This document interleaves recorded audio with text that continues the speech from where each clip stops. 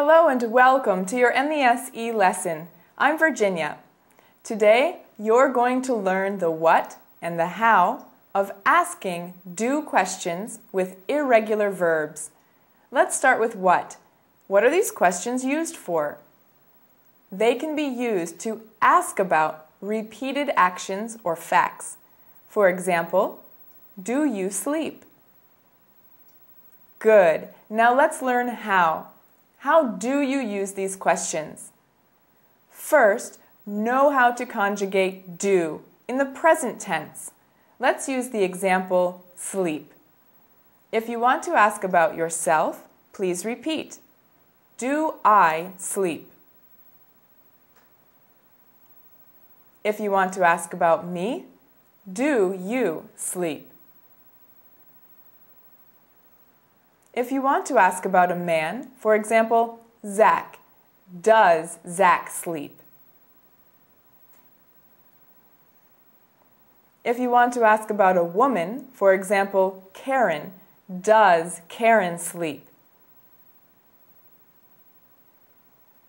If you want to ask about you and me, do we sleep?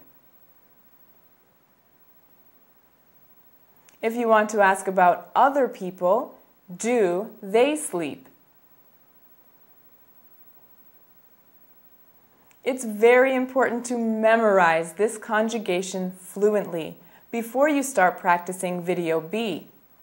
Next, you need to study your vocabulary to know a variety of verbs. For example, do you grow flowers? Learn Hear that noise.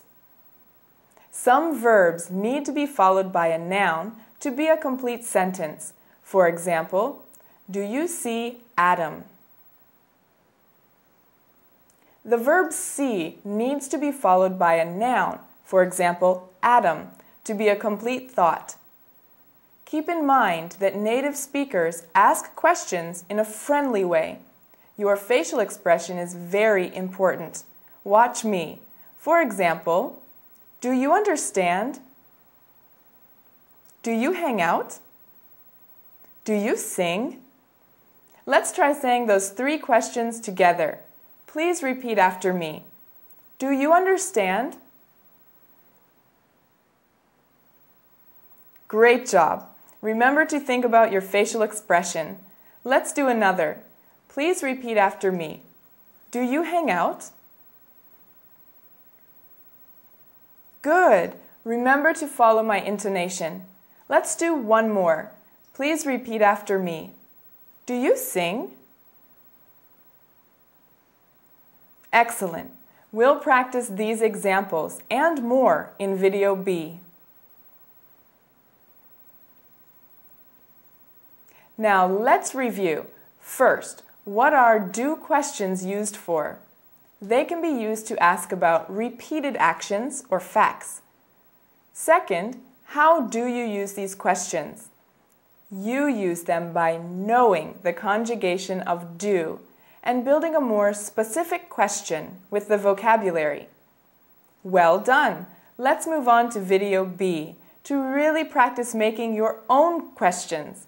Remember to keep on reviewing your vocabulary. I'm Virginia. See you next time.